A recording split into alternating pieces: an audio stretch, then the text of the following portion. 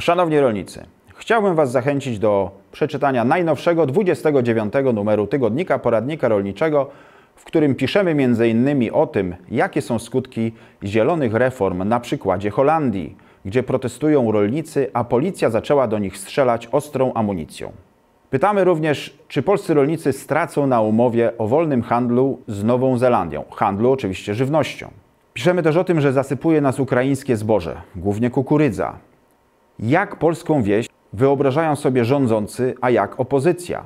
O tym piszemy w specjalnym dodatku Europejskiego Funduszu Rozwoju Wsi Polskiej. Dlaczego Robert Lewandowski zainteresował się nie tylko grą w Barcelonie, ale także rolnictwem? Czy warto inwestować w system do granicznego rozsiewu nawozów? To w dziale technika. W dziale polski żywiec, tym razem o chmielu. W jaki sposób chmiel może pomóc w walce z wirusem ASF? A w dziale polskie mleko, jak dostawca mleka do mlekowity przeszedł z uwięziówki na roboty.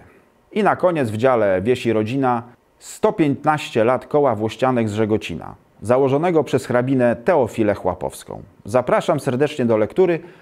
Jeśli ktoś z Was nie ma jeszcze naszego tygodnika, wystarczy kliknąć na link poniżej i zamówić bezpłatny egzemplarz, który niezwłocznie wyślemy.